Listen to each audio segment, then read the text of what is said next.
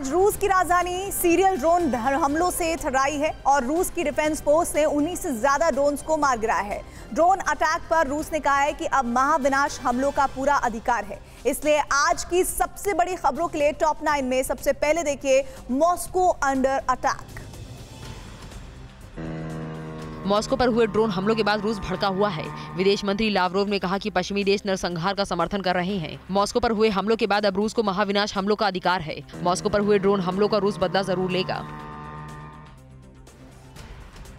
Moscow के drone हमलों को यूक्रेन ने खास मकसद से अंजाम दिया। एक सुसाइड ड्रोन प्रेसिडेंट पुतिन के प्राइवेट पैलेस तक पहुँचने वाला था।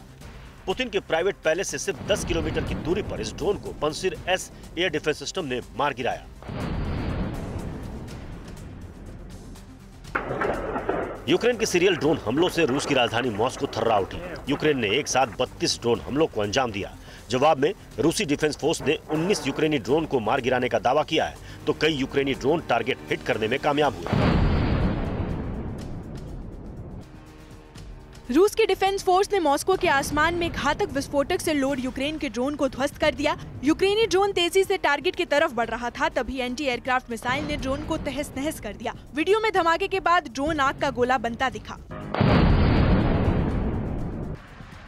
रूस ने दावा किया है कि यूक्रेन के ड्रोन हमले टारगेट हासिल करने में फेल साबित हुए। रूसी रक्षा मंत्रालय ने ड्रोन हमलों को यूक्रेन का टेरर अटैक बताया। रूसी डिफेंस फोर्स ने एंटी एयरक्राफ्ट गन से हमलावर ड्रोन को चुन चुन कर ढेर किया। मॉस्को के असोवा से ड्रोन हमलों को नाकाम करने का एक और वीडियो सामने आया है। रूसी डिफेंस फोर्स ने एंटी एयरक्राफ्ट गन से हमलावर ड्रोन को मार गिराया। भीषण हमले के बाद यूक्रेन का खतरनाक ड्रोन धू धू कर जलता दिखा।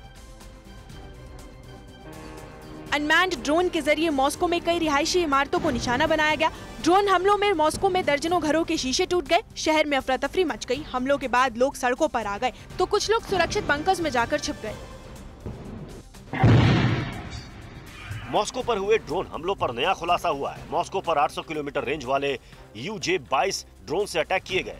यूक्रेन के इन ड्रोन में 20 किलोग्राम विस्फोटक लोड किया जा सकता है। तो यूक्रेन के ड्रोन रडार को भी चकमा देने में सक्षम है।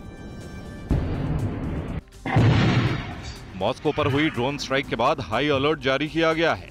यूक्रेन के आत्मघाती ड्रोन से रूस के सिविलियन विमानों को भी खतरा है। मॉस्को एयरपोर्ट के पास आसमान में ड्रोन जैसा संदिग्ध मूवमेंट देखा गया है।